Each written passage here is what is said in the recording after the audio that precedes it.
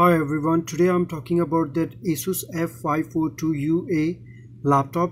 I came across an issue with this laptop. I was upgrading that uh, hard drive, basically changing the M.2 hard drive uh, to that uh, regular 2.5 solid state hard drive.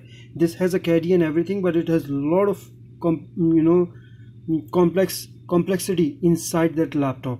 That issue which I came across after changing it without putting all the screws back I just turn it on to make sure it is working or not. But what happened when I take that you know power off and uh, that uh, adapter connector off then it used to shut down. Whereas over here I could see exactly the same thing as it is showing over here.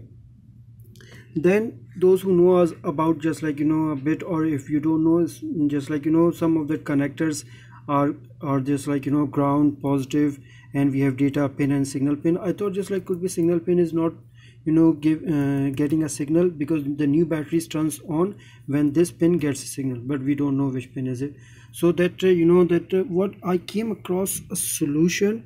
So i'm just like hiding the customer data. Yes just give me a second please. Let me turn it on. Then what i did you know i put that battery put the screws back again but when I open it some screws for the battery was missing. I don't know that was uh, before someone or like could be manufactured. So this is the model for the laptop. Okay guys. And then here is it just like you know uh, let me show you. So there's one screw right over here. Okay. Second just like you know right over here. So those two I put that battery in tightly, put that hard drive in, everything. Then I put those two screws back. After that, when I turn it on, it came on.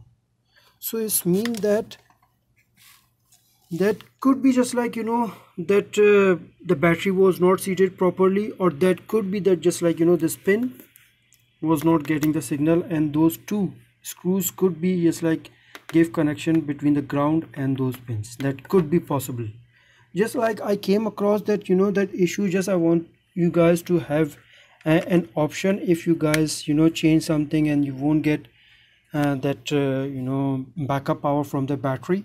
So this could be an issue but there could be another just like you know that seating problem just like you know it's not seated properly or something like that. But it is poorly designed what i believe from inside okay and uh, not easy for other technicians to work on to it. That's all. Okay. Okay bye for now